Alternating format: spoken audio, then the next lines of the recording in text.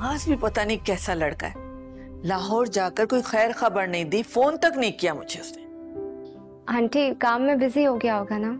Wow अभी से cover कर रही हो मास को। ना सपोर्ट इन दोनों की तो समझ ही नहीं आती कभी दोस्ती एंड कभी ब्रेकअप इसी आँख मचोली को खत्म करने के लिए मैंने इन दोनों की मंगनी का इरादा किया है। एक्सक्यूज मी हेलो हाँ बोलो क्या हुआ? अच्छा क्या है जी लड़की की? दो बंदे चाहिए ने मैनू इतने कैश का चेक है हाथ से नहीं जाना चाहिए अब। बाला उस्ताद वो क्या मुसीबत पाल ली हमने?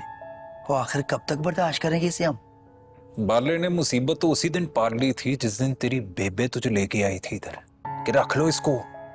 मेरा बच्चा कोठे पे नहीं पलेगा। सौदा हो गया इसका। और बहुत अच्छे पैसों में हुआ पार्टी आ रही है लेने। मतलब बाज़ार है उसने? कारोबार का एक असूल है। जिस चीज़ की मांग जिधर ज़्यादा हो उसको उधर ही जाके बेचो तो बड़ा फ़ायदा होता है। मुल्क के अंदर अगर ये लाखों की गई है तो मुल्क के बाहर करोड़ों की जाएगी।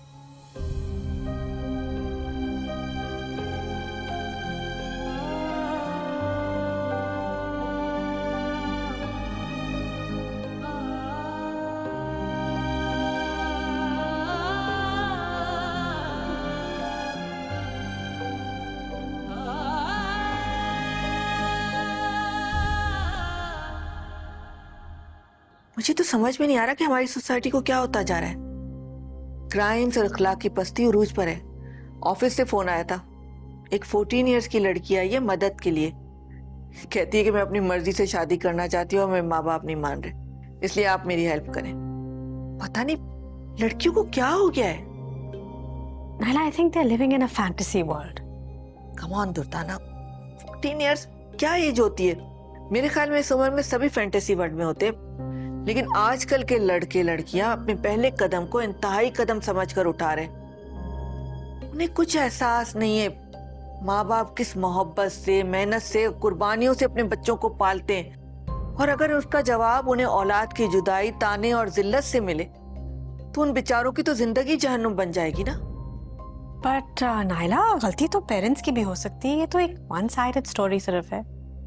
मैं तुम्हारी बात से इत्तेफाक करती हूँ।